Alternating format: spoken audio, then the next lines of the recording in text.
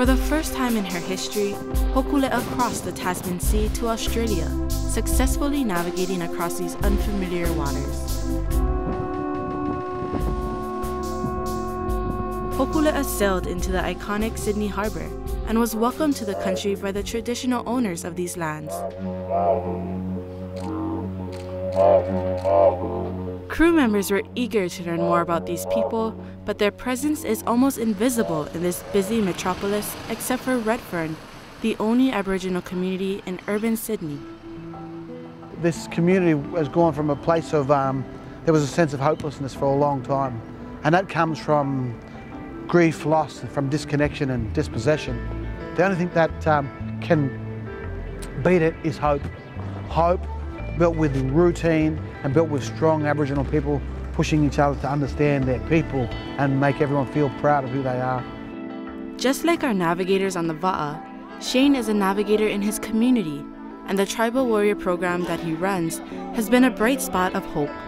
This program here that we put together came from a bunch of um, young boys in our community um, who are getting in trouble with robberies a lot. And we had a really bad relationship with the police. So what we did is put them in a routine program. The mentors would pick them up, take them and train with the police. After the first few weeks, it, the dynamics changed. We started to become friends. In fact, in the first few months, 82% drop in robberies in this area. Simple fact is, these kids started to tell other people about the big things, the strong things about our people. They saw their own worth and they started to get involved to learn, back to learning. Crew members were invited to join the Tribal Warrior Kids for their 6 a.m. program. For crew member Kavika Curvello, the experience with this urban indigenous community offered insight for his own work with youth in his rural island community of Molokai. Being that I work with uh, children, at-risk kids, that we'll be sharing of what we do back home. Uh, what we ended up doing was having a two-hour hardcore workout.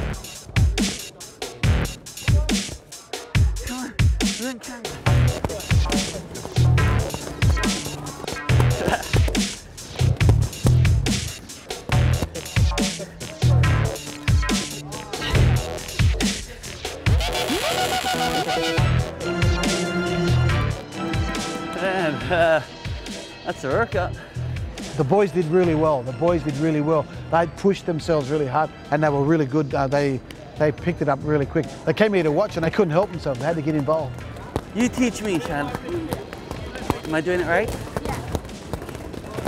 What I saw today from Shane, he looked at his community and he wanted to be a part of the solution. He wanted to make a change. Uh, it confirmed that it's important as a leader to have that relationship, to build that relationship uh, with the child, to have that trust. And in order to do that, it, it takes uh, uh, a special someone to have that engage with the children, to have them come out and give you their energy. Uh, that's what I took, that uh, he formed that relationship, that base, that foundation. Um, and after meeting him, I'm energized to take that home, to have that energy, to be uh, that engaged with the kids. Um, so it definitely inspired me. Oh, I'll, I'll, I'll ease up, bro. No, keep, keep going hard. Keep going hard. I like your attitude, bro. In return, the crew members inspired the youth with their voyage around the world and its message of Malama Honua. Of our land, we just want to thank you guys for, for having us here, uh, being able to participate with you guys. And we're on a uh, round the world journey on our double hull canoe. The name of our journey is Malama Honua, which is on this shirt here. It means to care for our earth. We tell all the kids about thousands of years of strength. And then we talk about other nations, we talk about indigenous people all over the world. We saw the light come on here today with these children. And when they knew that it was another indigenous nation doing this circumnavigation, which through navigation, through nature, through currents and winds, they saw that connection. That connection is, is so important to us. Uh, we sail across the oceans to islands we cannot see beyond the horizon, the way our ancestors have done. Um, was, we were told we couldn't do it, We were told that our culture and language didn't have a place in this world, and a bunch of guys said, it does, and we're gonna do it. And they built this canoe.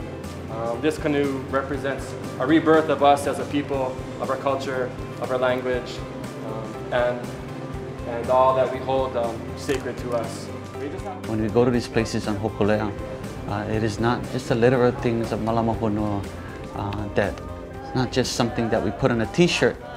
It is something that is action. It is something that we live. It is something that when we come off the va'a, that we engage in and that, that we truly, truly uh, live and be active in our community. And that in itself is Malama Honua and what each of us uh, can carry off the va'a and into our communities to put it into action